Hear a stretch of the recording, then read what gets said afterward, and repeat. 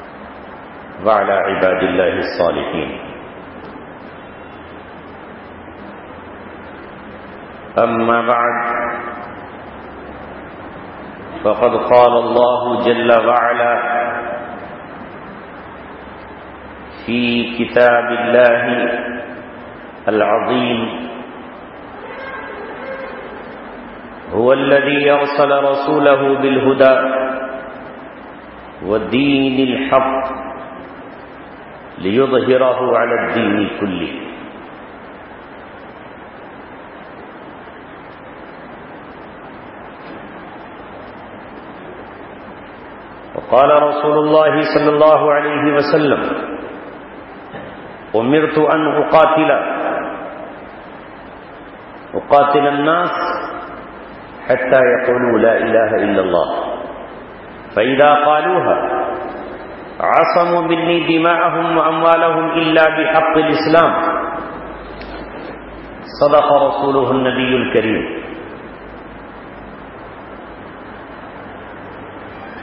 Chino, अरब हमारा, हिंदुस्तान हमारा, मुस्लिम है हम, वतन है सारा जहाँ हमारा।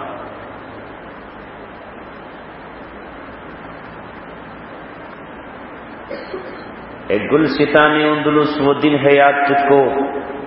था तेरी डालियों में जबाशियाँ हमारा। मगरिब की वादियों में गूंजी अदा हमारी। रुकता न था किसी से, सैले रवा हमारा। ए मुझ, ए मौज दिजला तू भी पहचानती है हमको। अब तक है तेरा दरिया, अफसाना खां हमारा। तोहीद की अमानत सीनों में है हमारे। आसान नहीं मिटाना नामो निशां हमारा, बातिल से दबने वाले। आसमां नहीं हम, सौ बार कर चुका है तो इम्तिहा हमारा। सालारे कारवा है, मीरे हिजाज अपना, इस नाम से है बाकी आराम जा हमारा। इस तराने का नाम है मिल्ली तराना। जो इकबाल ने लिखा है। उस तराने में मिल्लत को पैगाम दिया है कि तुम क्या हो? और अब तुम्हारा तस्वुर जहनी घटकर कहाँ पहुँच गया है? तुम किसकी औलाद थे और आज क्या हो? क्योंकि मेरे सामने इस वक्त ज़्यादा तादाद तलबा किराम की है।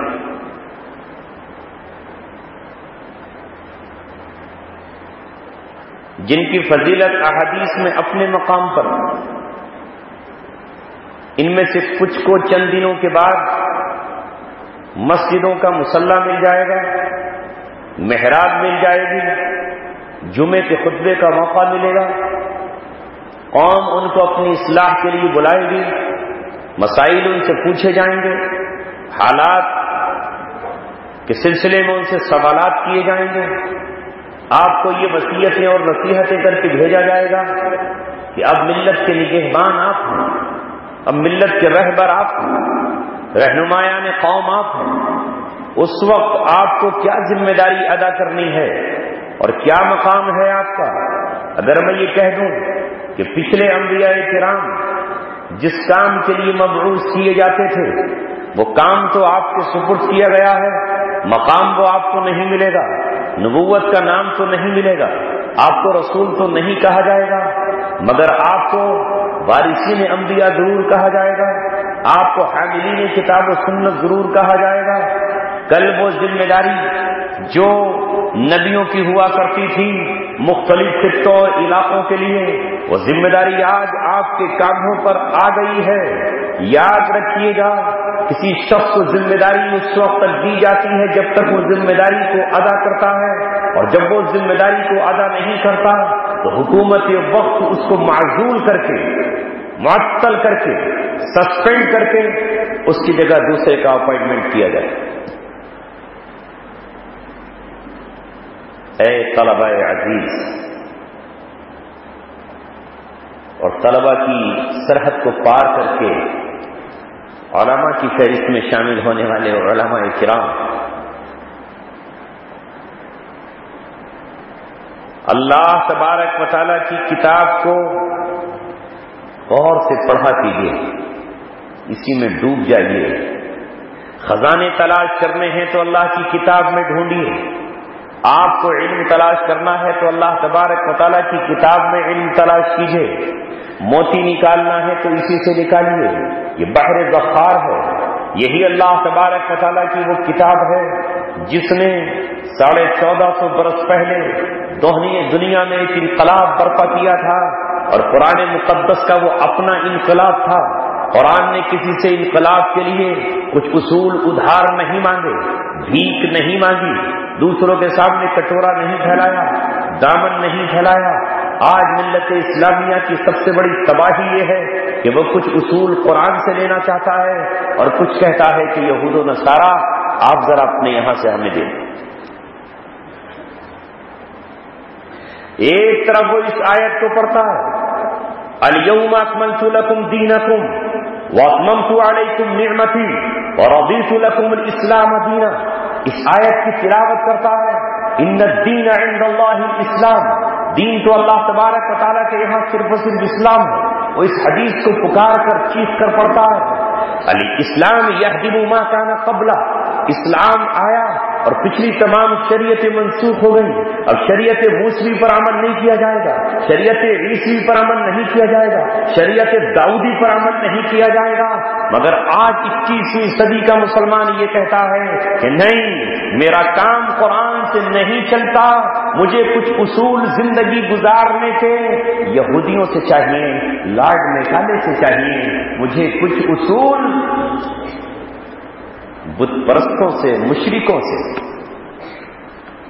रब के बागियों से, कीड़े मकोड़ों को खुदा बनाने वालों से चाहिए। क्या इस मकाम पर आकर हमारी हालत वही नहीं हो जाती जो मूसा रही सलात सलाम की कौम की थी? जब मूसा रही सलात सलाम तौरात लेकर आए तो कहने लगे, क्या गारंटी है इस बात की कि अल्लाह तबारक बताला ने ही आपको तोरा दी क्या गारंटी मूसा सलाम ने बथेरा समझाया था नहीं माना। बहत्तर आदमी हमारे चुनो। हमारे चुनिंदा बहत्तर आदमियों को आप अपने साथ लेकर जाएँ कोहे तूर पर। और अल्लाह तबारक वाली इनसे कहे कि हाँ हाँ मैंने मूसा को कलीम बनाया। मैंने मूसा सलाम को तौरात की तख्तियाँ दी हैं। जब हम अपने कानों से सुन लेंगे कि आवाज़ आ रही है अफजल्ला मजदूर की तो हम जाकर के मानेंगे कि ये तौरात वाकई आपको अता कर दी बहत्तर लोगों को ले गए। पढ़ा है ना आपने तस्वीर में? नहीं पढ़ा। पढ़ा है? अब जब वहाँ पहुँचे आवाज़ आ रही है तो क्या कह रहे हैं? क्या कह रहे हैं? ये तो मीडिया की खबर हो सकती है। कह रहे हैं अरिन अल्लाह जहरतन लन्नुक मिनल का हत्ता नरल्लाह जहरतन। ए मूसा, तुझ पर ईमान नहीं लाएँगे। जब तक अपनी आँखों से हम अल्लाह तबारक ताला को ना देख लें आ जाए हमारे सामने और आकर कहे कि मैंने ही मूसा को किताब दी है, मान लो तो। लुकमिना हत्ता। नरल्लाह जहरतन, हम तुझ पर ईमान नहीं लाते। अल्लाह सामने से आए, हमारे बादलों को चीरता हुआ, आसमान को फाड़ता हुआ अपनी हकीकी जगह में आ जाए। ये थी वो कौम कौम बन इसराइल। तब अल्लाह ताला ने कहा कि अच्छा हम मैं आऊँगा मैं तुम्हारा पाबंद हूँ तुम कहोगे और मैं आ जाऊँगा उतर कर मौत दे दी अल्लाह ताला ने, सबको कि नहीं। सबको मार डाला अल्लाह तबारक ताला। अब मूसा सलाम ने कहा कि अल्लाह, मेरी कौम का क्या होगा? वो कौम तो ये कहेगी कि बहत्तर को लेकर गए थे, उनको मरवा दिया, जला के खाक करा दिया। अल्लाह फिर ज़िंदा करे सुम्मा बासना तुम मिम्बादी मऊती तुम लाल तुम तस्करोन फिर अल्लाह तबारक वसारा ने ज़िंदा कर दिया मगर आह वो कौन जो फिरौन के जुल्म सितम को सहते सहते तड़पती थी, रोती थी गिलगिलाती थी, कपकपाती थी और दुआएँ मांगा करती थी, हमारा कोई मददगार आ जाए, जब मूसा सलाम उनके हादी बनकर, उनके रहबर बनकर, अल्लाह तबारक ताला की तरफ़ से कलीम और रसूल बनकर आए, जिनके मुआजात को कौम ने अपनी आँखों से देखा लाठी को सांप बनते हुए, सांप की लाठी बनते हुए देखा, सत्तर हज़ार जादूगरों को सईदे में गिरते हुए मूसा सलाम पर ईमान लाते हुए देखा पानी के चश्मे फिरौन के खून बन गए, टिड्डियों का आजाब आते हुए देखा मेंढकों का आजाब आते हुए देखा, यहाँ तक के कानून को ज़मीन में धसते हुए देखा, और फिर अपनी ही निगाहों से मूसा सलाम के बरकत से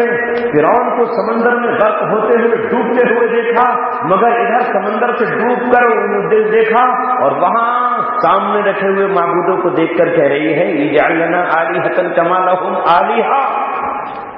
है, मूसा, कोई ऐसा माबूद बना दो ना जैसे इस कौम का मूसा ने सलाम को कैसा जलाल आया होगा? और गौर कीजिए, जब वो कौम फिरौन के जुल्म सितम से निजात पा जाती है, और अल्लाह तबारक ताला उसको ज़मीन अता कर देता है वादी मुकद्दस सहरा सैना में पहुँच जाती है तो उस वक्त बैतुल मुकद्दस पर कब्जा है कौम अमालिका का ये बात मेरी नहीं है कि अल्लाह तबारक ताला की किताब में मौजूद है।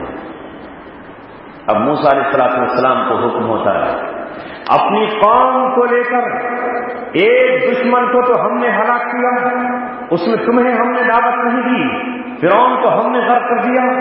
और अब कौम अमालका से सरजमीन अपनी छीन लो। वो सरजमीन जहाँ इब्राहिम सलाम दीन इस्लाम का निफाज कर चुके थे, जहाँ हज़रत हज़रत याकूब और हज़रत इसहाक सलाम इस्लामी निज़ाम को नाफिज कर चुके थे, उसे चलकर छीन लो। तो कौम ने क्या कहा? सुपर पावर ताकत के सामने हम पहले फिरौन से मरवा रहे थे उससे मरवाओगे? नहीं साहब, हम नहीं। पहले जरा हालात का जायजा ले लें। उनके पास कितने हथियार हैं, कितनी फौज है, कितनी ताकत है, क्या इनकी आइडियोलॉजी है, क्या मेथडोलॉजी है? जरा हालात जायजा लेने के लिए अरे मूसा, पहले हमारी तरफ़ से बारह लोगों का इंतखाब कर लो। बारह नसीबों का इंतखाब किया गया। और मूसा सलाम ने ये कहा था कि वहाँ के हालात को तुम पब्लिकली बयान मत करना आवाम के सामने। आवाम में तो हर तरह के लोग होते कोई छोड़ दिला, कोई बुजदिल कोई कमज़ोर दिल। इसलिए हालात का जायजा लेकर बताना यहाँ आकर बारह लोग गए। उनमें कालिब बिन मुकन्ना है और दूसरे यूशा बिन नून है। और दस और बस जो वहाँ से जायजा लेकर आए। तो कौम के सामने अलग ऐलान अफवाहें फैला दी और कहा कि वो तो इतनी ताकतवर कौम है कि हम उनके सामने चिड़िया नज़र आ रहे बड़े व लहीम शहीन हैं, ताकतवर हैं कुत वाले। पूरी कौम को बुजदली की दंदल में फंसा दिया। तालिब भी में पन्ना समझाते रहे नहीं कुछ नहीं है कुछ नहीं है वो। अगर तुम निकलोगे तो अल्लाह तबारक ताला तुम्हें फता से हमकनार करेगा। यूशा बिन नून हौसला दिलाते रहे जुरअतमंदाना तस्वीरें करते रहे, बहादुराना और सजाद के रम उनको सिखाते रहे। यहाँ तक कि मूसा सलाम ने उनसे कहा, अल्लाह ताला अपनी जबान में कहता है कि मूसा सलाम ने कहा, या कौमिद खुलुल अरबल मुकद्दसतल्लती कतब अल्लाह ए मेरी कौम, उस मुकद्दस सरजमीन की तरफ़ आगे बढ़ो जो अल्लाह तबारक ताला ने तुम्हारे लिए लिख दी है। तहरीर हो चुका है तुम्हारे लिए, मगर तुम्हें आगे बढ़ना पड़ेगा। खुद बहुत वो ज़मीन चलकर नहीं आएगी। तुम्हें वहाँ जाना पड़ेगा। शहर के दरवाजे तक पहुंचो। अल्लाह तबारक पताला तुम्हारा रौब डाल दे अल्लाह तबारक पताला तुम्हारी तकबीर के नारों में ऐसी कैफियत और हैबत डाल देगा कि वो तुम्हारे मध्य मुकाबिल नहीं खड़े हो सकेंगे। मगर वो दस अफवाहें फैला रहे थे, दो हौसला दिला रहे थे। मुँह मूसा सलाम ने जब उन्हें ज़्यादा उभारा तो कहने लगे ईद हब अंत और अबू का फकातीरा इन्ना हा होना कायदून हमें काय को वर्गला रहे हो मूसा? तुम जाओ और तुम्हारा रब चला जाए। और वो जाके उनसे जंग कर ले। इन्ना हा होना कायदून हम तो यहाँ बैठे और बाद में तो ये कह दिया कि हम हरगिज वहाँ नहीं जाएँगे। लन्नत खुला मादा मुखा हरगिज हरगिज हम नहीं जाएँगे। क्यों? नफीहा कौमन जब्बारी वहाँ तो बड़ी ताकतवर कौम रहती है, सुपर पावर रहती है। हम ऐसी ताकतवर कौम से कैसे कुछ कर सकते हैं? इससे आगे जुर्म दूसरा किया जो मैं आपको समझाना चाहता हूँ। मुफसरीन ने लिखा है ये, मैं अपनी तरफ़ से नहीं कह रहा हूँ। कौम के कुछ लोगों ने कहा कि मूसा सलाम की तो यही है। कल फिरौन की बगावत से उभार रहे थे। कल कानून के खिलाफ हमें उकसाते थे। इनके आने से पहले इनके चक्कर में हमारे हज़ारों बच्चे मारे गए। और मूसा इस्लाम से खुद कहा था कि उदीना ने तब तेरे आने से पहले भी हम सताए गए और तेरे आने के बाद भी हम सताए जा रहे हैं। और लिहाजा हमें फिरौन के मुकाबले पर खड़ा ही रखा। अब ये हो जाएगा, मदद आ जाएगी, नुसरत आ जाएगी, फुला आ जाएगा, फुला आ जाएगा। और अब ये कह रहे हो कि वहाँ चलो। लिहाजा कुछ लोगों ने ये कहा कि अब मूसा की क्यादत को ठोकर मारो, मूसा की इमारत से तौबा करो। मूसा सलाम को अपना लीडर मत मानो। अरे चलो, वापस मिस्र चलते हैं। फिर जो डूब चुका है उसकी फौज उसके महल पे, उसके महलों पर, उसके खजानों पर और उन इमारतों पर कब्जा करेंगे, वहीं खाट मनाएँगे छोड़ दो मूसा को यहाँ वादी। पर हम चलते हैं मिस्र की तरफ़।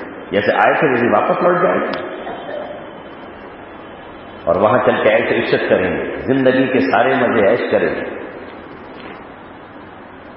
जब ये हरकत उस कौम ने की कि मूसा नबी सलाम की रहबरी में उन्होंने अपना दूसरा लीडर चुनना चाहा और दूसरा रहबर बनाना चाहा तो अल्लाह तबारक ने कहरन व गजबन अजाब के तौर पर, सजा के तौर पर ये कहा, हरगिज हरगिज नहीं फैनहा मुहर्रमतुन अलैहिम। अब वो ज़मीन इन पर हराम कर दी गई है, यतीहूना फिल अर्द। इसी वादी चीज़ में ये घूमते रहेंगे। कब तक? अरबईन सनतन चालीस साल तक। चालीस साल तक इसी वादी में रहोगे, जाओ चल के दिखाओ। तुम चलोगे, हम ज़मीन को समेट दें न मिस्र में दाखिल हो सकोगे, न शाम में दाखिल हो पाओगे। तुम्हारी सजा यही है, तुम्हारा जुर्म की पादाश यही है कि अल्लाह तबारक वाली इसी वादी में तुम्हें रखेगा। हालाँकि अल्लाह तबारक वाली ने तुम्हें सजा कर दे रखा था बैतुल मुकद्दस। वहाँ पहुँच के और अल्लाह तबारक वाली तुम्हारे सर पर इज़्ज़त का ताज रखा और मैं अमाल का तो शिकित होती, मस्जिद अक्सा तुम्हें मिल जाती और फिर अल्लाह तबारक वाली तुम्हें अपनी दीन की रहनुमाई के लिए कबूल फरमाता। मगर आह, वो कौम जिसने मूसा सलाम की तालीमत होते हुए कहा, चलिए दूसरा चुन लो। वो जो ये कहने वाले थे, जिन्होंने फिरौन की गुलामी में ज़िंदगी गुजारी थी। वो जब मर गए इसी वादी में, जब खत्म हो गए, मूसा सलाम अपनी कौम से रूट कर कोहे तूर की तरफ़ चले गए, उनकी वफात हो गई।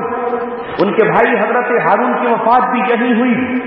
और अब अल्लाह तबारक वाली ने चालीस साल के बाद जो नई नस्ल तैयार की जो पहाड़ों को जो पहाड़ों में रहती थी पहाड़ों का सीना चीर कर जिसने पानी निकाला था जिसने मुश्किलें और मशक्क़त झेली थी अल्लाह तबारक वाली ने उस, उस नौजवानों को खड़ा किया और अब उनकी क्यादत के लिए यूशा बिन नून के सर पे अल्लाह ने नबूत का ताज रखा। यही यूशा बिन नून थे जो उस वक्त ये कह रहे थे कि अगर आज भी निकल चलोगे तो अल्लाह तबारक वाली तुम्हें फतह नसीब फरमाएगा। अब ये यूशा बिन नून इस कौम के नौजवानों को लेकर निकले और बैतुल मुकद्दस को फतह किया। यही सुन्नत है, अल्लाह तबारक वाली ने इसको बयान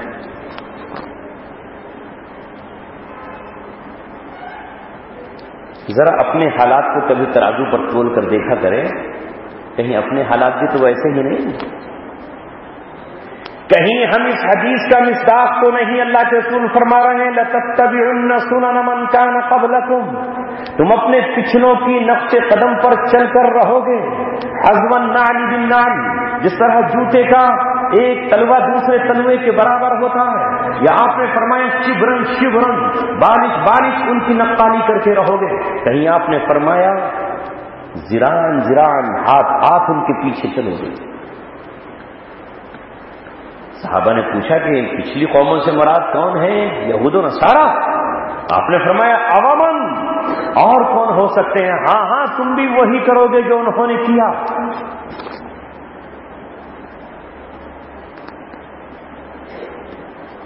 लव दखलू जोहरा रबिन लदखल तुमू अगर उनमें से कोई गोह के भट्ट में घुसना चाहा होगा तो तुम भी वही कोशिश करोगे, तुम भी उनकी नक्काली और उनकी नकलची बन जाओगे कि जैसे वो उन्होंने किया वैसे तुम कर रहे हो। क्या हमारा आज का दौर ही तो वो नहीं? कि जो बनी इसराइल ने अल्लाह तबारक ताला की किताब के साथ किया, वही हम कर रहे हैं? कि जब मूसा सलाम तौरात के अहकाम लेकर आ गए तो कहा कि इसमें जो मीठे मीठे अहकाम हैं, वो तो हप हप हलवे की तरह खा जाएँगे और जो कड़वे हैं वो मूसा आपके लिए।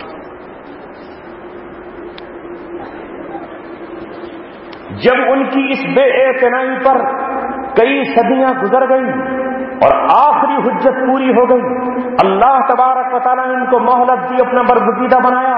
मगर अब ये कौम अल्लाह तबारक वाली से माहदा तोड़कर, अल्लाह की किताब से नाता तोड़कर अब ये कौम जब शैतान से एग्रीमेंट कर चुकी और इबलीस के दस्तबाजू बन चुकी तो अल्लाह तबारक वाली ने फिर इनको इबलीस के हवाले ही कर दिया। अब कोई और नहीं था जो अम्बिया बनी इसराइल का कत्ल कर रहा हो, यही अम्बिया बनी इसराइल का कत्ल कर रहे थे। और हज़रत ईसा सलाम की आमद से पहले ज़मीन की वो सूरत हाल हो गई कि यही कौम जो अल्लाह तबारक वाली की बरगुजीदा थी चुन चुन कर छाट छाट कर तलाश करके नबियों को कत्ल कर रही थी और देखते ही देखते हज़रत याहिया को इन्होंने कत्ल कर दिया। उससे पहले उनके वालिद का हज़रत जकरिया को कत्ल कर दिया। और जब ईसा सलाम मबरूस हुए तो उनके कत्ल की हर मुमकिन तैयारी कर ली। मैं आपको इशारों में बात समझा रहा हूँ ताकि आपकी समझ में आ जाए। ईसा सलाम जो उसी कौम के बनी इसराइल के आखिरी पैगंबर थे, बनी इसराइल के आखिरी कह रहा हूँ, धोखा मत खाना।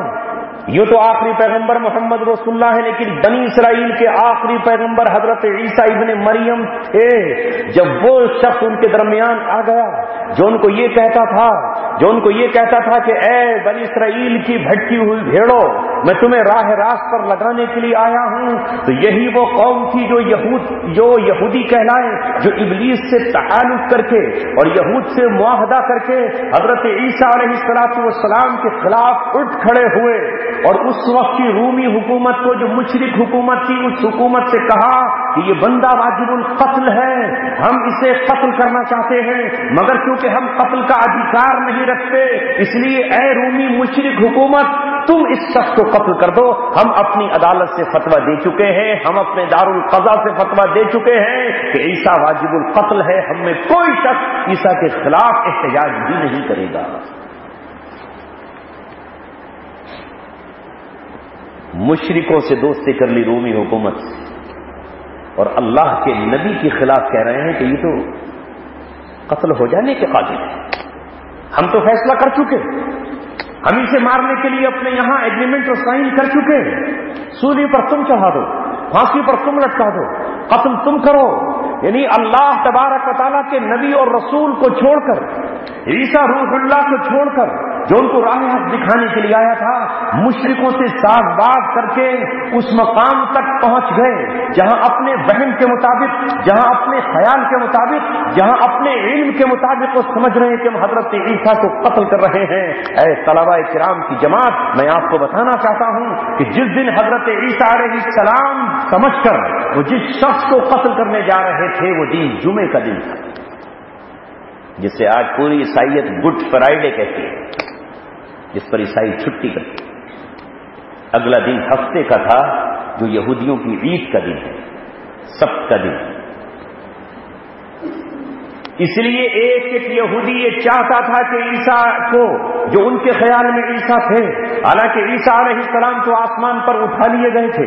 वो तो अल्लाह तबारक वाली के यहाँ आज भी महफूज हैं, ज़िंदा हैं और इंतज़ार कर रहे हैं कि कब स्टेज सजे मुल्क शाम में और मैं आऊँ। कब दज्जाल निकले और मैं उसे कत्ल करने के लिए पहुंचूं? कब दज्जाल की कुछ पर यहूदी इकट्ठे हों और मैं दज्जाल के तमाम हामियों से हिसाब चुपता करने के लिए आऊँ? मैं मोहम्मद रसुल्ला की शरीयत और कुरान को पढ़ता हुआ ज़मीन पर उतरूं? हज़रत ईसा तो मुंतजिर है, अल्लाह तबारक के हुक्म के जब वो स्टेज सज जाएगा जब मुल्क शाम मुजाहिदीन के कब्जे में आ जाएगा, जब दमिश पूरा कब्जे में आ जाएगा, जब दमिश की जाम उमा भी कब्जे में आ जाएगी, जब अलगूता मुसलमानों के कब्जे में आ जाएगा और हज़रत महदी का जहूर हो जाएगा, जब दज्जाल वहाँ अपनी फौजें लिए बैठा होगा तो हज़रत ईसा आएँगे। वो तो उस शख्स को जो हज़रत ईसा के कालिब में ढाल दिया गया था, जो हज़रत ईसा की शक्ल में ढाल दिया गया था, उसे ईसा समझकर सूली तक ले आए। मुशरक रूमी हुकूमत ने यह कहा कि कल तुम्हारी ईद का दिन है, हम ईद के तोहफे पर तुम्हें एक शख्स की आज़ादी देना चाहते हैं। दो शख्स हमारी कैद में हैं, या दो शख्स हमारे पास हैं जो वाजिब कत्ल हैं। एक बरब्बा डाकू है जो जेल में बंद है। और एक हज़रत ईसा है जिन पर तुमने भी स्वाद कर दिया है कि जिसे कत्ल कर दिया जाए। और हमारे यहाँ भी सजा यही बनती है कि इस शख्स को कत्ल कर दिया जाए। ए यहूदियों, बताओ, इन दोनों में से तुम किसकी आज़ादी चाहते हो? तुम जिसकी तरफ़ इशारा करोगे, हम उसे छोड़ देंगे। अगर ईसा सलाम को चाहते हो तो उनकी सजा को माफ़ कर देंगे। और अगर बरब्बा डाकू की चाहते हो तो बरब्बा डाकू को माफ़ कर देंगे।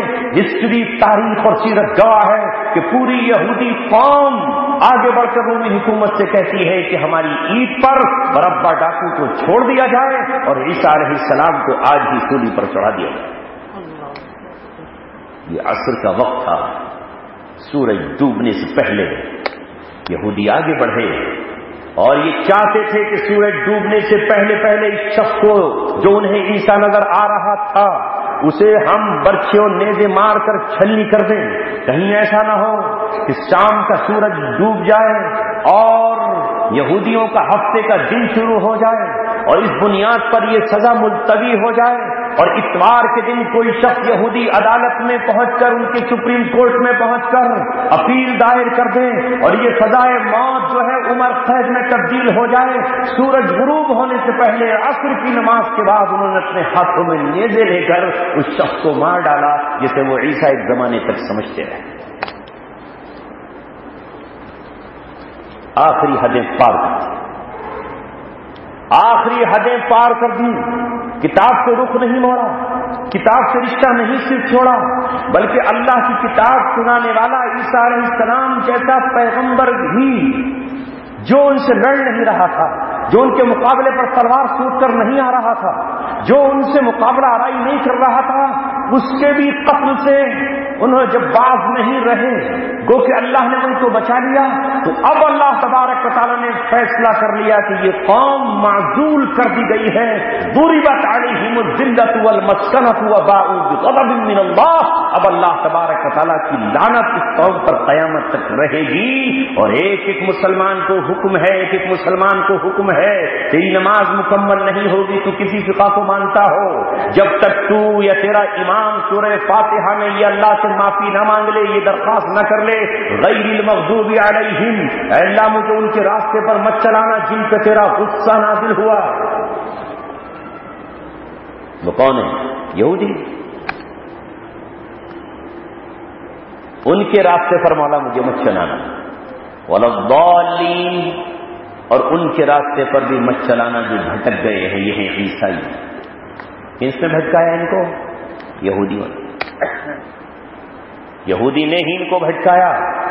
कह दिया उनसे कि ईसा सलाम तो कत्ल हो गए। वो आज तक यही समझ रहे हैं कि ईसा सलाम कत्ल हो गए इसीलिए उसके रौस को सीने से लगाए फिर रहे हैं। सलीब के निशान की पूजा कर रहे हैं, सलीब की परस्तिश कर रहे हैं, गलों में डालकर उसे चूम रहे हैं, उसके सामने सजदे कर रहे हैं। और समझ रहे हैं कि ईसा सलाम का ये सूली का निशान है और ये ईद को हम आखिर तक पूछते रहेंगे। सुनो मुसलमानों, आज आपकी समझ में इस्लाम नहीं आ रहा, सुन लो।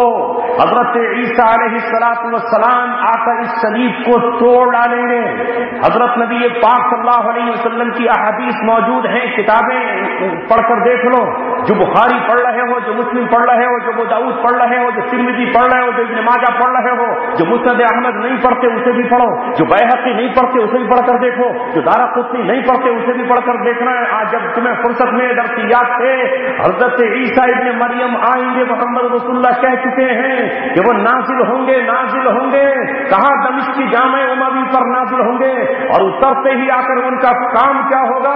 वह यकसुल खिंजीर। खिंजीर का कत्ल करेंगे। वह यकसिर सलीब और सलीब को तोड़ देंगे ऐसे नहीं लगे रहेंगे हज़रत ईसा के सामने के सलीब को तोड़ देंगे। अब जो मौजूदा ईसाई हैं वो क्या कहेंगे?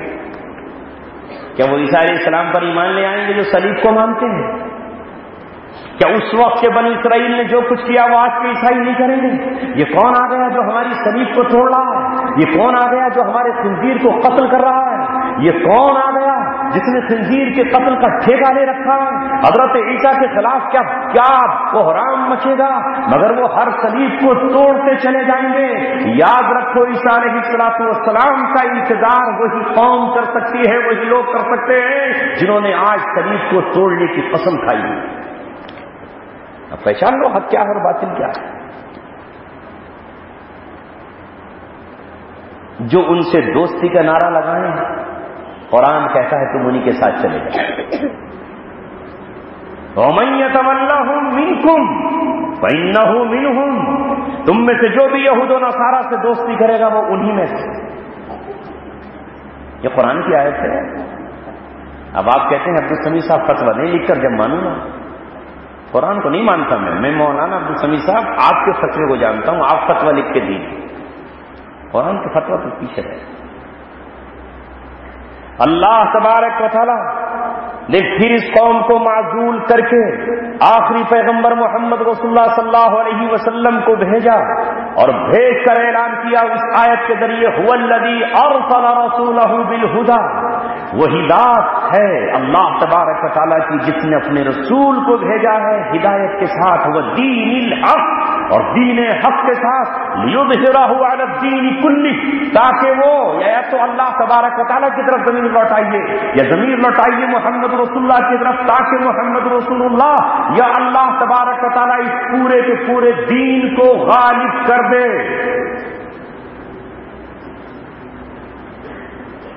यहूद नसारा की बनाई हुई शिक्कों और दफात पर न चले।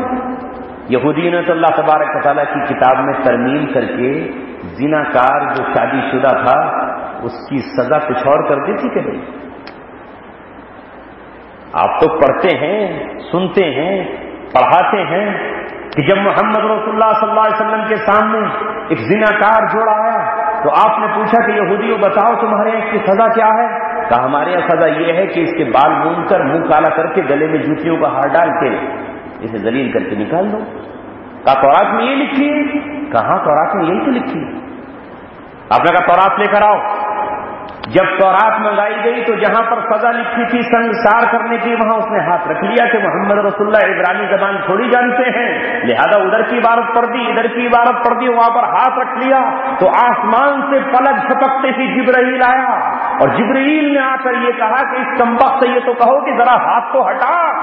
जहाँ पर तूने अपना हाथ रखा हुआ है, वही तो लिखी है संसार की सजा।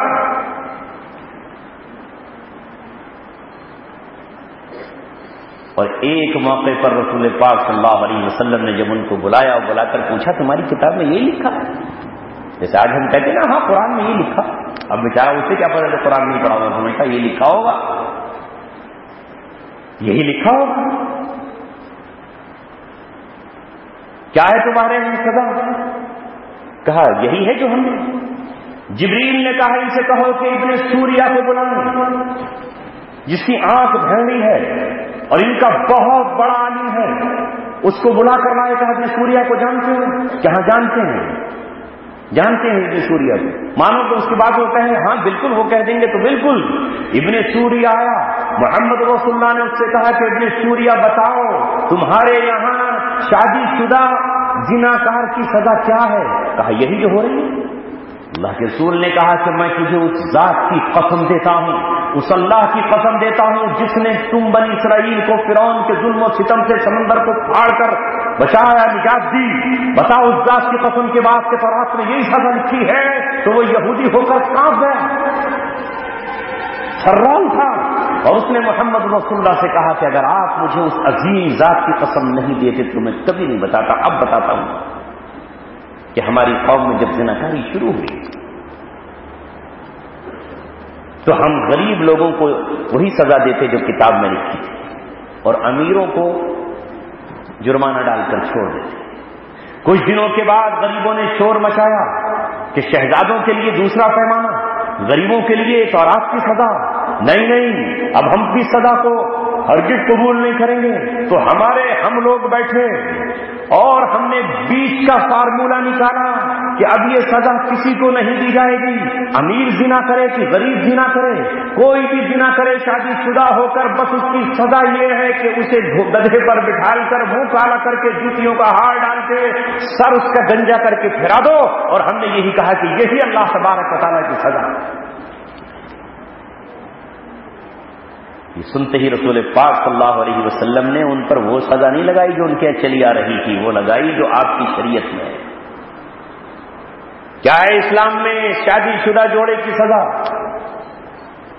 संगसार, रजम, पत्थरों से मारकर उसे कत्ल कर देना। मैं आपसे भी सवाल करता हूँ और अपने अपने दिमाग से भी सवाल करता हूँ, जिस पर आज हज़ारों पर्दे चढ़े हुए हैं, कि अगर इस वक्त हुए ज़मीन पर कोई गिरोह, कोई जमात, कोई लश्कर, अल्लाह तबारक वाली का कोई कोई भी एक चक इस सजा को किसी ज़मीन पर नाफिज करे और ये कहे कि ये सरजमीन, इस्लाम की सरजमीन है, यहाँ जो भी शादीशुदा जोड़ा जिना करके आएगा और उस पर जिना का सबूत हो जाएगा तो हम उस पर वो सजा नहीं लगाएँगे जो यहूदियों के कानून में है, जो अमेरिका के कानून में है, जो बरतानिया के कानून में है, जो हिंद के कानून में है, जो पाक के कानून में है और जो बांग्लादेश के कानून में है, हम वो सजा लगाएँगे जो चौदह सौ वर्ष पहले मोहम्मद अरबी के कानून में है। तो सबसे पहले मैं कहूँगा कि इस्लाम में तो ये है ही नहीं। ओहो, ये गिरो तो बड़ा इस्लाम की गलत तस्वीर पेश कर रहा है। ये नया इस्लाम पेश कर रहा है, ये मॉडर्न इस्लाम पेश कर रहा है। जिस वक्त हम ये कहेंगे तो उस वक्त हमारी क्या कैफियत होगी, जरा सोचिए। क्या कैफियत होगी? अल्लाह तबारक ताला के दिए हुए मनसब पे बातें रहेंगे या मासूम कर दिए अल्लाह तबारक ताला फिर हमसे कहेगा, जब हम अल्लाह तबारक ताला की चीज़ को छुपा जाएँगे। यही है मेरे अजीजों, हालात की घड़ियाँ और नजाकतें। बनी इसराइल से अल्लाह तबारक ने यही कहा मीनूना विवाद किताबी व तकफरूना विवाद किताब के बाद हिस्से पर ईमान लाते हो और किताब के बाद हिस्से का इंकार करते हो। ये इबादत तो तुमने अल्लाह की किताब से ले ली और हदूद किसास नहीं ले रहे, ताजीरात नहीं ले रहे, जराइम जो बयान किए अल्लाह ने वो नहीं ले रहे। कातिल की जो सजा अल्लाह ने बयान की है, उस पर अमल नहीं कर रहे। चोर की सजा जो अल्लाह ने बयान की है, उसको बयान नहीं कर रहे और कहते हो हम तो अल्लाह तबारक बताला की किताब के बाद उसके ऊपर अमल करेंगे। तो कुरान ने कहा फतुक बिरूना विवाद किताब और तकरूना विवाद बाद हिस्से का इनकार करते हो और बास का, बात पर ईमान लाते हो। और फिर अल्लाह तबारक बताला ने कहा फमैयफ फमा जजाऊ को जो भी तुम में से ऐसा करेगा, उसकी दो सजाएँ हैं। फमा जजा मिनकुम इल्ला फिजियन फिल हयात दुनिया दुनियावी ज़िंदगी में उसके लिए रुसवाई है रुसवाई है जिल्लत है जिल्लत है और आखिरत में और यौमल क़ियामती रब्दून शद्दिल आदाब और कयामत में सख्तरीन अल्लाह तबारक ताला के आज़ाद की तरफ़ वो लोग लौटाए जाएँगे जो ऐसा करें कि अल्लाह की किताब के बाद हिस्से पर ईमान में आए और बाद हिस्से का इनकार करने लगे। ये अमलन इनकार था, जबानी इनकार नहीं था, ये कौलन इनकार नहीं था, ये जहन दिमाग से इनकार नहीं था। वो तो यही कहते थे कि अल्लाह की किताब में तो ये लिखा है, मगर क्या करें, अमीर ज़्यादा जिना कर रहे हैं। क्या करें, बादशाहों की औलादें ऐसा कर रहे हैं। क्या करें? सरदार कबाइल के ऐसा कर रहे हैं तो बीच की राह हमने निकाल दी और बीच की राह निकाल करके हमने कंप्रोमाइज की राह निकाली है। ए उम्मत मुस्लिमा, ए किताब सुन्नत के हामिलीन, ए नबी पाक सल्लल्लाहु अलैहि वसल्लम के चाहने वालों, मोहम्मद रसुल्ला सल्लल्लाहु अलैहि वसल्लम को अल्लाह ने इसलिए भेजा था कि वो इस दीन को गालिब कर दें। कहाँ तक गालिब कर दें? सिर्फ़ जजीरतुल अरब तक? नहीं। अगर ये मकसद होता तो सहाबा किराम अपने घोड़ों पर कजावे जीने कसकर और ऊंटों पर कजावे कसकर किसरा के महल में दाखिल नहीं होते, उसके तख्त और ताज पर कब्जा नहीं करते, उसके बिछे हुए कालीन को माले गनीमत नहीं बनाते, उसके सोने और खजाने को वो बैतुल माल में जमा नहीं करते, बल्कि सहाबा ने अपने घोड़ों को, अपने घोड़ों को एड़ लगाते हुए ईरान ईरान के किसरा को पता कर लिया। फिर वो रूम की तरफ़ आगे बढ़े, फिर वो अफ्रीका की तरफ़ आगे बढ़े। उकबा बिन नाफे का वो जुमला आज भी तक उस्मानी ने जहाँ दीदा में लिखा हुआ है कि उकबा बिन नाफे उस मकाम पर पहुँचे, जहाँ आगे समंदर ही समंदर था। तो उकबा बिन नाफे अमर बिन आस के भंजे हुआ करते हैं गालिबन। लिहाजा इन्होंने आगे बढ़कर अपना घोड़ा समंदर में डालकर ये कहा समंदर, तू गवाह रहना। एक घोड़े की टांगों, तू गवाह रहना। अगर मेरे आगे खुशकी होती तो रब्बे दो जहाँ की कसम, मोहम्मद रसुल्ला की आयत पर अमल करते हुए तिलन्नास हत्ता यकूलो ला इलाहा इल्लल्लाह। मुझे हुक्म दिया गया है कि मैं उस वक्त तक पिटाल करता रहूँ, मैं उस वक्त तक जंग करता रहूँ जब तक ये लोग ला इलाहा का इकरार न कर ले, फैदा कालूहा, जब उसको ये मान ले असम मिलनी अम्वालहम तो फिर इनके माल और जाने महफूज हैं। इल्ला हक इस्लाम, मगर इस्लाम के हक की वजह से प्रशासन खत्म नहीं किया जाएगा। अब तो हम सब ये कह रहे हैं कि इस्लाम में तो कहीं कत्ल कताल की सजा है ही नहीं। इस्लाम तो कत्ल कताल की बात ही नहीं करता। क्यों? मुर्तद की सजा क्या है इस्लाम में? खुलेआम घूमते रहे ना। क्या पढ़ा है हदीस में? मम बदला दीना हूँ पख्तलू हूँ नहीं, इस्लाम में तो है ही नहीं। कोई भी कुछ करता रहे। गुस्ताखे रसूल कुछ भी करता रहे। हमें कुछ कहने की ज़रूरत ही नहीं है। तो ये कौन कह रहा है? ये हम कह रहे हैं। ये हम कह रहे हैं। और जब हम ये बात कहते हैं तो हमें डर लगता है कि इस्लाम बदनाम हो जाएगा। इस्लाम बदनाम हो जाएगा। इस्लाम तो बुरते से बदनाम हो रहा है। जब सोचा कि इस्लाम बदनाम हो जाएगा तो लड़कियों को बेपर्दा कर दिया। इस्लाम तो कहा दाढ़ी से बदनाम हो रहा है तो दाढ़ी फिर कर नालियों में फेंक दी। इस्लाम टोपी से बदनाम हो रहा है तो इस्लाम टोपी टोपी उतार कर फेंक दी। इस्लाम कुर्ते पजामे से और इस लिबास से बदनाम हो रहा है तो पैंट और शर्ट पहन करके निकले और कहा कि हम तो इस्लाम का दिफा कर रहे हैं कि लोग हम पर उंगलियाँ उठाएँगे। लिहाजा सब कुछ उठा करके फेंक दिया। इस्लाम मदरसों से बदनाम हो रहा है तो कॉलेज यूनिवर्सिटियाँ खोलनी। इस्लाम मस्जिद की मीनारों से बदनाम हो रहा है तो मस्जिद की मीनारें बंद कर दी अच्छा इस्लाम बदनाम हो रहा है। ईसाइत बदनाम नहीं हो रही? ईसाइत बदनाम नहीं हो रही जंग करके कोई नहीं कहता कि ईसाई कैसा धर्म है जो सारी दुनिया में कत्लेआम मचा रहे हैं। कोई नहीं कहता कि जो एटम बम बनाकर उसे बरसा रहे हैं। इससे कोई बदनाम नहीं होता।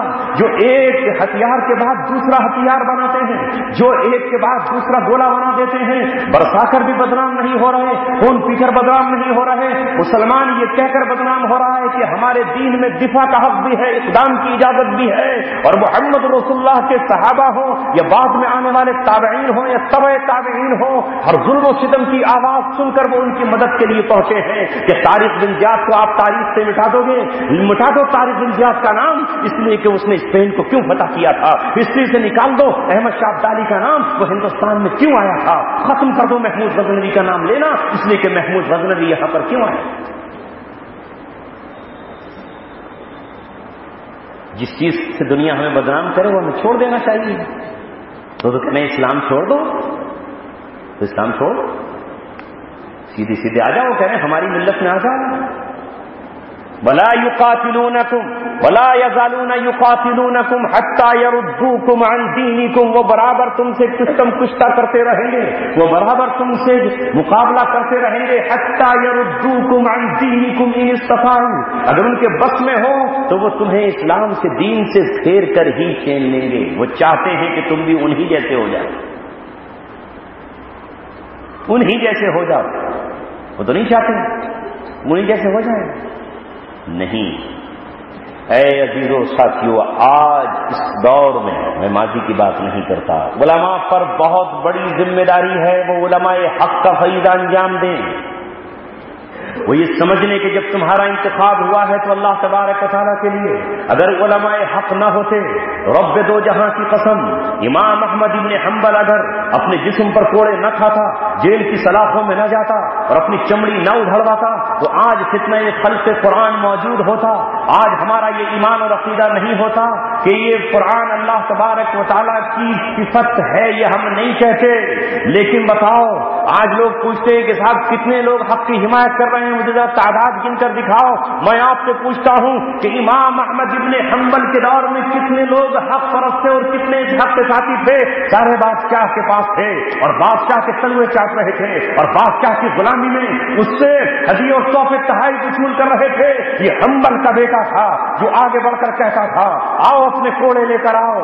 तुम्हारे कोड़ों से हाथी भाग सकते हैं, तुम्हारे कोड़ों से शेर जंगल की राय तैयार कर सकता है। मगर ये हम्बल का बेटा अहमद है। अल्लाह तबारक ताला की किताब को अल्लाह तबारक ताला की सिफत का दर्जा दिला कर रहे हमेशा बातिल अकीदत, अकीदों की कुछ पर हुकूमतें रही हैं। कितना शदीद हुक्म रहा है। पढ़ो कभी तारीख दावत वजीमत माना अली मियाँ, रहीमहुल्लाह, जिसमें इमाम अहमद ने हम्बल की उन्होंने तारीफ़ बयान की। खुद कट गया जिस्म। मगर इस्लाम को कटने नहीं दिया, अकीदे को बटने नहीं दिया। आओ इमाम मालिक को देखो, शहर मदीना है, अपने फतवे पर और अपने कौल पर अड़ गया और जबूत पर बिठाल कर उसे निकाला गया। तो हज़रत मालिक बिन अनस ने कहा ऐ ऐ लोगों जो मुझे जानता है, वो अच्छी तरह जान ले। अना मालिक इब्नु अनस, तारीफ़, जो मुझे जानता है, वो तो जानता ही है। वमल्लम तारिफ, और जो मुझे नहीं जानता, मैं उससे कहता हूँ कि मैं अनस का बेटा मालिक हूँ, जो मैंने फतवा दिया है कि जबरन जो बैत ली जाएगी, वो बैत नहीं है, वो तोड़ दी जाएगी। और उसके लिए उन्होंने अपने बासुओं को खड़वाना कबूल किया, ऐ हुकूमत, अगर तू मेरे हाथ तोड़ सकती है तो तोड़ दे। अगर हाथ उखेड़ सकती है, उखेड़ दे। उनके हाथ उखेड़ने वाला बादशाह नसिया मनसिया हो गया और इमाम मालिक की फिका जजीरतुल अरब पर फैल गई। मुस्कुराओ। इन्हें हँसी आ रही है इमाम मालिक की बात सुनकर। कौन सा लतीफा सुना दिया भाई मैंने? लैला मजनू का किस्सा सुना दिया? मेरे ज़ोर से बोलने पे हंसने की मौलवी पागल हो गया शायद।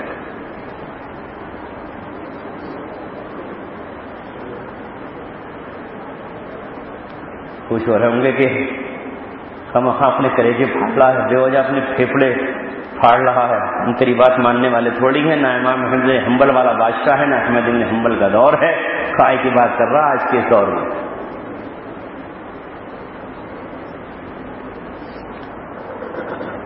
इस सदी में तेरे होठों पे तबस्सुम की लकीर, हंसने वाले तेरा पत्थर का कलेजा। ये हंसने का नहीं, रोने का मकाम। तुम पे सारा जमाना हंस रहा है। सारा जमाना हंस रहा है। मस्जिद की चार दीवारी में ये बातें कह दी सड़कों पर कह भी नहीं सकते। ज़ाहिर है जिस पे कोई मुसीबत ना आई हो, जिसके पास देखने के लिए कुछ ना हो तो हंसेगा ये सोच रहा है कि वाह, कहाँ से पागलो मजनू दीवाने आ गए। तारीख का जब भी रुख बदला बदला है हमी दीवानों ने। इंसाफ की शमय रोशन की, जल जल के हमी परवानों ने। यूँ ही दुनिया में इस्लामी इनकलाब न आया है, न आएगा। जब उसमें इमाम अहमद इबन हम्बल का खून शामिल हुआ, इमाम अबू हनीफा की कैद की तनहाइयाँ शामिल हुई, और न जाने कितने लोगों का खून शामिल हुआ हजाज बिन यूसुफ के सामने सईद बिन जुबैर का खून बहाया गया।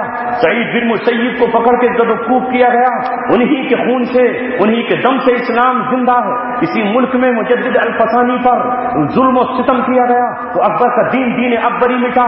और आज जो कुछ भी, जो कुछ भी टूटा फूटा दीन हमारे पास है, वो मुजद अल्फसानी के कहकहों का नहीं। रात की तनहाइयों में उनके रोने का नतीजा। है हाँ।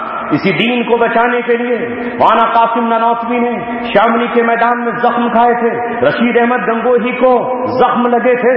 और उसी मैदान में आफिज जामिन शहादत का ताज पहन करके सो गया था। हाजिम दादुल्ला महाजिर मक्की को कैद करने के लिए अंग्रेज़ की पुलिस ढूंढती फिर रही थी। यही वो लोग थे जिन्होंने अपने खून की बाजियाँ देकर उस जमाने में अकीदाए हक समझाने की कोशिश की थी। जब लोग अंग्रेज़ों के तलवे चाट रहे थे और अंग्रेज़ के घोड़े के लिए लिए दाना दल रहे थे और उसके पैरों पैरों को खुजराकर उसके नीचे से सिक्के मांग रहे थे। तो ये ओलमाए हक थे जिन्हें बाद में ओलमाए देवबंद का खिताब दिया गया। उनकी विरासत आज मुंतकिल होकर हमारे सीनों तक आई है। हम इंशाल्लाह उसकी अपना की हिफाजत करते रहेंगे। वो आला दर्जे के लोग थे। हम अपना दर्जे के लोग हैं। उनकी कुर्बानी उन्हें मुबारक हमारी जिद्दोजहद अल्लाह तबारक के लिए जारी रहेगी। इन्हीं अल्फाज के साथ। कि काश अल्लाह तबारक वाली हमें आज के दौर में माजूर होने से बचा ले और पूरी किताब पर अमल करने की तोफीक अता फरमाए। बनी इसराइल की पैरवी से हमारी हिफाजत फरमाए और इस्लाम के एक एक गोशे पर अमल करने की तोफीक अता फरमा दे। आप में से अल्लाह तबारक वाली कुछ इस्लाम के ऐसे जियाले पैदा कर दे जिन पे तारीफ ना करती रहे जिन पे मिल्लत फख्र करती रहे जो इस्लाम का सूरज बनकर जब तक जिंदा रहे दमकते रहे और जब वो दुनिया से रोशन हो जाए तो उनकी पैरवी और उनके नाम रोशन कारनामों से इस्लाम जिंदा हो जाए वाखिर दावाना अनिलहमदिल्ला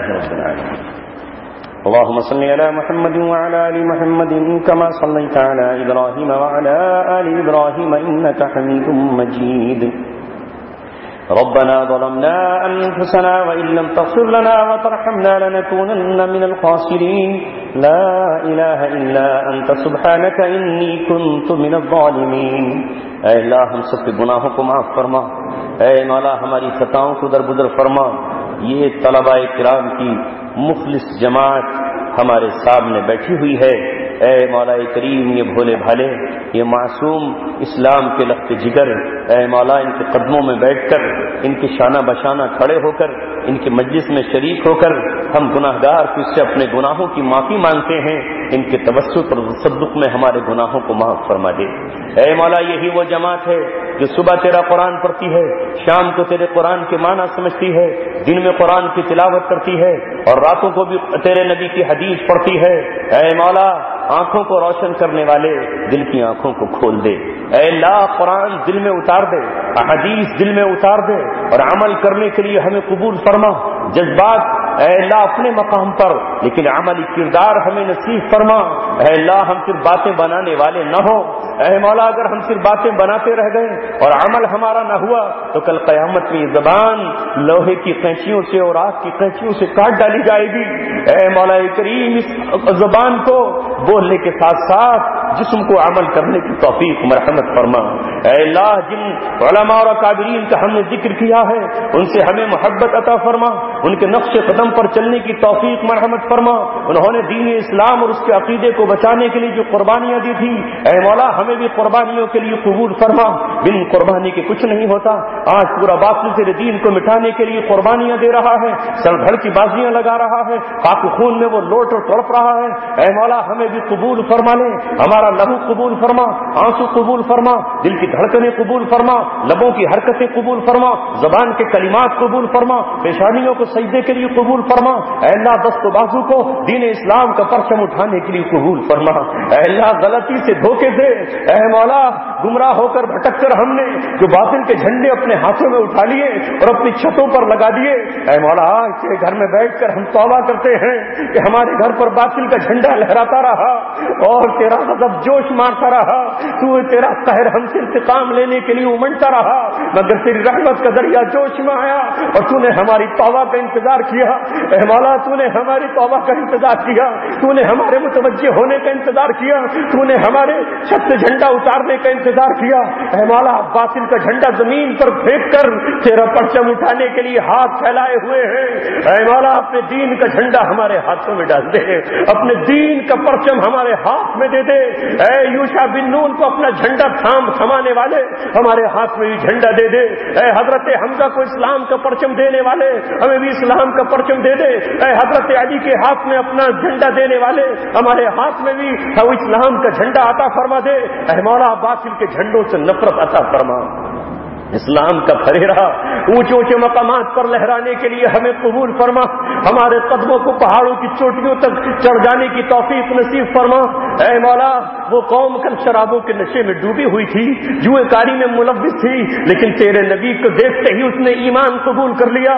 ए मौला आज जो दीवाना तेरे नबी की सुन्नत को ज़िंदा करता नज़र आए जो तेरे नबी की शरीयत को नाफिक करता नज़र आए जो तेरे नबी के, के लिए अपना सब कुछ कुर्बान करे ए मौला उस दुआने के लश्कर में हमें शामिल फरमा दे दुनिया उसे दीवाना और मजनू ही कहेगी, मगर वो रूए ज़मीन का सबसे अक्लमंद आदमी होगा, जो तुझसे अपनी जान का सौदा कर ले, जो तेरे लिए अपने बीवी बच्चों को छोड़कर सहराओं की तरफ़ निकल खड़ा हो। अः मौला, ऐसे लोगों की हमें पहचान अता फरमा दे, हमारे दिल पर लगे पर्दे उखाड़ कर फेंक दे। अल्लाह यहूदियों जैसे हमारे दिल न बना, जिन्होंने कहा था कि हमारे दिलों पर पर्दे और ताले पड़े हुए हैं। अल्लाह दिलों पर पड़े हुए तालों को खोल दे, और हमारे दिलों में मौला करीम इस्लाम की किरणों को महफूज फरमा दे, नूर इस्लाम को जगमगा दे, इस्लाम के चराग को हमारे सीने में रोशन फरमा दे। ए रब काबा, जो कुछ हमने कहा, इसे कबूल फरमा। इस मजमे की आरजुएँ जो जायज़ हो पूरी फरमा ला इस मजमे में आए हुए वो बच्चे हैं, जिनकी माओ ने तेरे दीन पर अपने बेटों को वफ कर दिया है। ऐ मौला अपना ही बना ले। ला इन्हें गलत राहों पर जाने से रोक ले। इन्हें शैतान से इतिहास से रोक दे। इन्हें शैतान की इतबा से रोक दे। ऐ मौला, पूरी तरह अपना बनाकर अपने लश्कर का या तो मैमना बना दे, या मईसरा बना दे, या अपने लश्कर के अगले हिस्से में शामिल फरमाकर इन्हें मुकदमा बना दे, या इन्हें मौला करीम लश्कर के पिछले हिस्से में शामिल फरमाकर अपनी मोहब्बतों को उतार दे। ऐ मौला, अपना बनाकर ऐलान कर दे, ये मेरे हैं और मेरे कभी किसी हाल में शिकस्त नहीं खाते। अल्लाह, ज़मीन की वसतों को हमारे लिए सुकोड़ दे। हमें देर और दूर के लिए कबूल फरमा। हमारी आवाज़ को पूरे आलम के लिए कबूल फरमा। हमारे कलम की तहरीर को पूरी दुनिया के लिए कबूल फरमा। ऐ मौला, रुए ज़मीन पर अब हमें सितारों की तरह चमका दे, सूरज की तरह जगमगा दे, चाँद की तरह दमका दे खुशबुओं की तरह, फूलों की तरह महका दे। ऐ मौला करीम और इस्लाम के गुलशन को हरियाली अता फरमा पतझड़ का दौर खत्म कर दे। फिजा के मौसम को बहारों से तब्दील फरमा दे। ऐ मौला, पूरी दुनिया का दीन इस्लाम बना दे। पूरी दुनिया पर इस्लाम को गालिब कर दे। इस्लाम के परचम को पूरी दुनिया में फहरा दे। ऐ मौला, बातिल का कला खमा कर दे। उसकी फौजों को शिकस्त दे दे। उन्हें समंदरों में फिरौन की तरह डुबो दे। कानून की तरह जमीनों में धसा दे। ऐ मौला, इस उम्मत को एक करने के लिए, एक करने वाले पैदा फरमा दे। इस उम्मत को नेक बनाने के लिए नेक राहबर नसीब फरमा दे। ए मौला करीम, एक परचम के लिए, जमा करने के लिए, ए मौला, इस उम्मत को फिर से खिलाफत की हवाओं से मुजयन फरमा दे। इन दुआओं को अपने फजल करम से कबूल फरमा। सुबह रब्बिल इज्जति अम्मा सुकून वसलम